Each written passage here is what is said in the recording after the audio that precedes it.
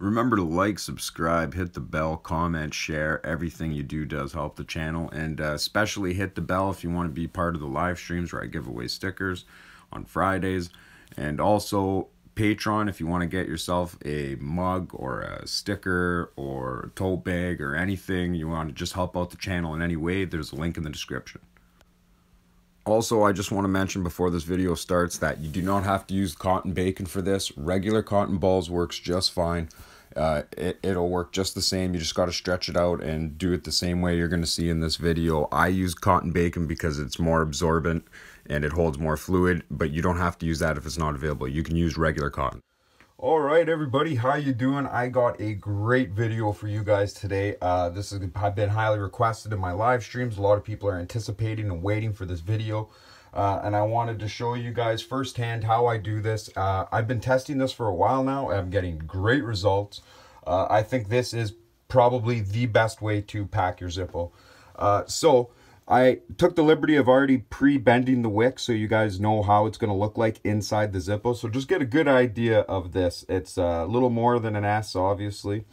Uh, you could pre-bend it like this just make it fit around the insert perfectly like this because you got to remember you got to leave room for the uh, flint hole that's going to be here so this is going to just be moved over slightly to this side of the Zippo because there's a tube running down it right there not a big deal so what you're going to want to do first is uh, you're going to want to stuff your cotton or leave your cotton there whatever you did I don't know and you're probably going to want to use a better cotton than rayon or regular cotton balls uh, you're going to want, I use this cotton bacon only because it was available at my vape shop, uh, my local vape shop. I went to the store, they had that, I bought it, works great. I'm not saying it's the best uh, vape cotton to use in here, but there's better and everything like that. You don't have to buy specifically this one. You can get any kind you want. They're all good. They're all meant to do the same thing. It's wicking cotton. It comes in long strips, which is perfect for this project because of what I'm going to show you here. Now, I've been testing this for a while and I'm telling you guys this helps with the fluid. This keeps your this keeps your wick the most saturated I've ever had it. Uh, this is this is the best way to pack it. So I'm just going to start off. I'm going to put the wick in first. Uh, pre-bent the way I have it. Uh, it's just going to be a little, little tricky to do. Okay, so now you pull your wick through put it to right where you want it, the length you want it. I like to keep mine just a little under the chimney. I like to have a big flame and I like to keep it going. And then so you will look in the Zippo now, you will see that it's in there, right? And it's in that shape still. I never moved the shape. The shape's still the same. It comes right to the bottom. You'll push it in a little bit. So now, for the first thing, what you're going to do is you take your knife and you push the wick to one side, right? Okay. And you could leave the knife in or you could take it out for this step. It doesn't really matter. So then you stuff the cotton in on one side. Now you don't want to stuff this whole piece in there. You just want to push it. You just want to push it to the bottom. So there's still some sticking out. You'll see here how I do it. You just want to make sure the whole bottom's covered. Okay, see? And the wick didn't get shoved down. The cotton slid the cotton slid and the wick didn't get stuff down there, okay? So now there's cotton going all the way to the bottom, all the way to the bottom of the insert, and I'll just double check. You just stuff a little in.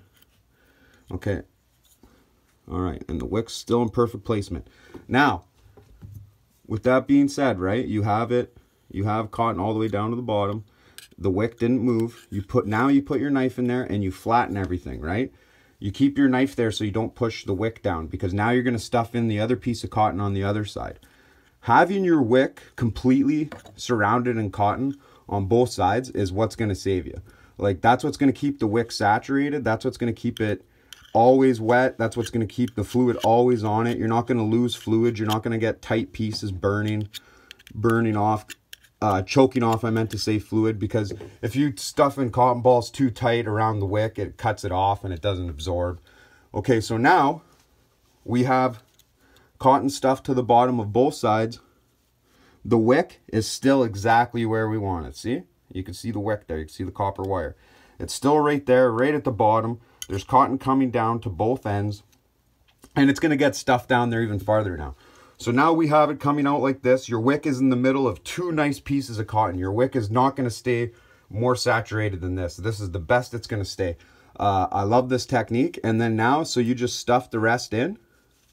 And I do it open tweezers like this, like as you see. I'm doing it open tweezers like this, stuffing it in equally on both sides while I stuff it down to finish the deal here. And you'll see it just goes down perfect, right? You're not pushing too hard. There's not too much cotton in here. I didn't overstuff it or anything like that. You don't want to overpack it. Exactly how much cotton I used is all you'll need. And bam, look at that. Then we put our flint in. And the felt fits on perfect because I use the exact right amount of cotton. It sits nice and flush. I put everything back in. Now, I filled the Zippo up. I already did this to the Zippo. I filled this up like three weeks ago, and it was still running by the time I filmed this video. I still haven't filled it yet. I don't know if it will... We'll see if it lights right now. Alright, we're just going to fill her up here and see how she works. We'll put a little splash in there, not much.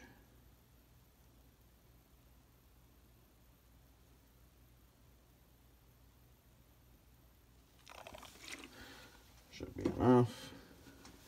This cotton bacon really, really soaks up the fluid. She is doing good. This is my Korean Warrior Zippo, steel case Zippo given to me by Dependable Flame. Go check them out. This is my favorite Zippo in my collection, my rarest one, my oldest one. I love this one. This is a great Zippo. But anyways, guys, so that's the best way to do it because you're going to have the wick in the middle with cotton on both sides all the way down the insert. Uh, there's honestly nothing better than that. Uh, I already did this in the Zippo. I just unpacked it and repacked it for the purpose of this film. Uh, I got like three weeks on, on my Zippo like that, but I was using the bag trick and I was using cotton bacon, so uh, you might not be able to get three weeks on it without those things, but uh, every little thing you do does help to save fluid, and keeping the wick completely saturated like that and keeping it wet at all times I feels the best because when you do it with cotton balls, you're putting it in spots and you're bending the wick around and then your wick's touching the case here and there's, uh, you know, big ball of cotton on this side and then your wick's touching it here and then there's a big ball of cotton on this side. Uh, th that's not very good. That's not good packing. Having your wick dead center with uh, equal layer of cotton on each side of it, all around it, it, it just holds the fluid better. It keeps it all tucked in there better, uh, holds it better this is the way everyone should be packing their Zippo. I hope this video gets big because people should be packing all their inserts like this. All right, everybody, take care. Thanks for sticking around. Uh, appreciate it. Check out Dependable Flame, Limp Wick. Those guys have uh, sent me a lot of cool things. They are friends of the channel. Uh, check them out.